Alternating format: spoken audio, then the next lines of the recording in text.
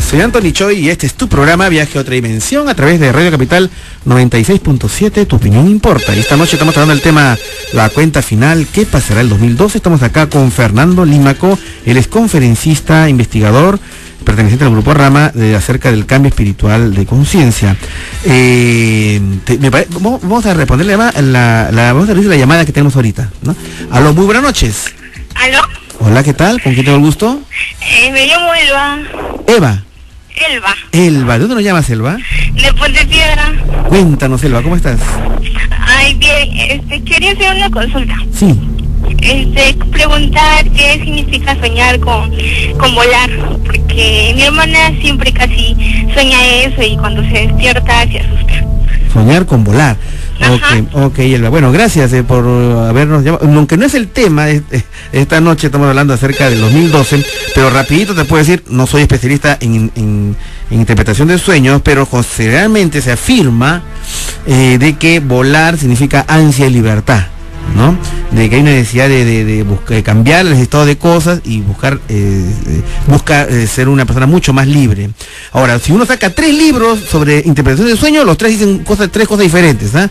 O sea, eso te estoy dando solamente una idea, ¿no? aproximada, ¿no es cierto? Gracias, Elba, por, por tu llamada. Tenemos otra llamada. Aló, buenas noches.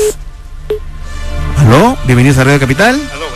Hola, ¿qué tal? ¿Con quién tengo el gusto? Con Alejandro Cubillas del Grupo Misión Rama. Hola, Alejandro, ¿cómo estás? ¿Cómo estás? ¿Qué tal? Mira, eh, quería decir mi opinión respecto a la, al tema principal que es sobre la, lo que va a suceder el 2012 o, los, o la cuenta regresiva. Ah, perfecto, justamente acá Existen Fernando Límaco, que muchas- también es del grupo Rama. Eh, Claro, mire, sí, lo conozco a Fernando. Ah, ok. Justamente va a dar una charla eh, el día martes. Ah, ok. Este, mira, eh, existen muchas profecías respecto al origen o lo que pueda producirse el 2012 y Mm. está en muchas este, versiones científicas, en muchas este, eh, expresiones arqueológicas dejadas por nuestras antiguas humanidades en la Tierra.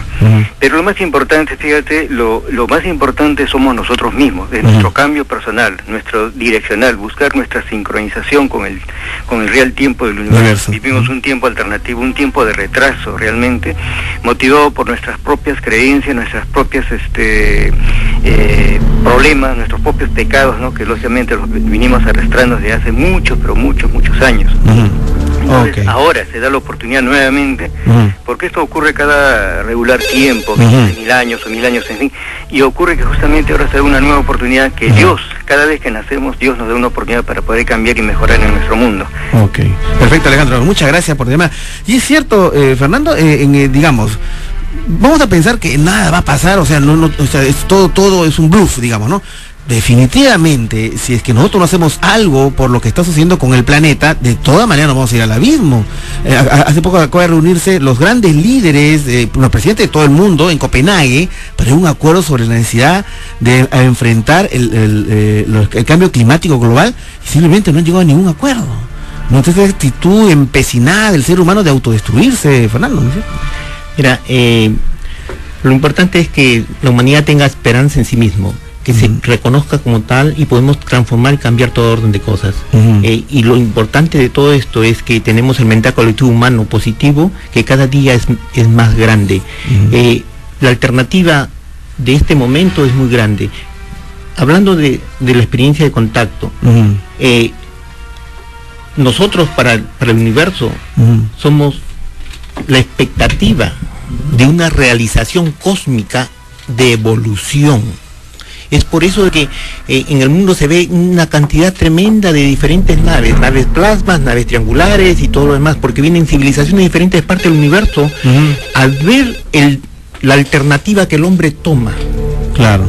Están a la expectativa. A la expectativa, porque nosotros vamos a ser la solución para ellos. Ah, sí, ¿por qué? ¿Por porque qué eso? existe un plan cósmico. Ah, el plan cósmico. Y dentro de ese plan cósmico, nosotros somos el gran experimento de la mente creadora de Dios Para devolver dinámica y, Ujú. y comience a la evolución dinámica de esta parte del universo. Y por lo tanto, el 2.12 queda en medio de ese gran camino. O sea, no es Claro. tan grande como lo están pensando. Lo están el día de hoy. pensando, pintando. Aparte de eso, jamás va a haber el arrebato. Eh, eso, quería preguntar, eh, para- porque hemos escuchado una llamada, pero antes de pasar la llamada, rapidito nomás, eh, Fernando, si puede responder, se habla del gran arrebato, el gran rapto, que van a venir naves gigantescas que van a llevarse a los salvos, a los que con una vi- vibración mayor. ¿Es cierto, cierto que va a pasar? No, definitivamente que no, porque eh, el arrebato mesiánico no existe. Ellos, ellos están viniendo aquí para, para simplemente ayudarnos a redimensionarnos y que después nosotros los ayudemos a ellos. No tiene sentido que en este momento se lleve, entre comillas, al evolucionado, que no ha llegado, no ha llegado a conocer sus siete cuerpos, a manejar sus siete cuerpos y a ponerlo a disposición de los universos, esos siete cuerpos. Ahora, si se, si se quiere salvar físicamente, físicamente, a una humanidad, no necesitan llevarse a, miles de personas, porque en un, en un pomo, en un pomo se puede llevar un poco de esperma con cientos de millones de espermas Claro. y crear en cualquier parte del universo otra nueva humanidad. Ok, sí, pues tiene, tiene lógica lo que tú dices, ¿no es cierto? Eh, vamos a entrar a una pausa comercial y a las personas que están en el teléfono, sabemos que los tres teléfonos están eh, llenos y vamos a responder todas estas llamadas. Son las 9 y 46 de la noche en Lima, Ciudad Capital. Tenemos una temperatura de 23, ha bajado la temperatura, 23 grados Celsius y ya regresamos con nuestro programa. Exprésate. Somos Radio Capital. 96.7. Tu opinión importa.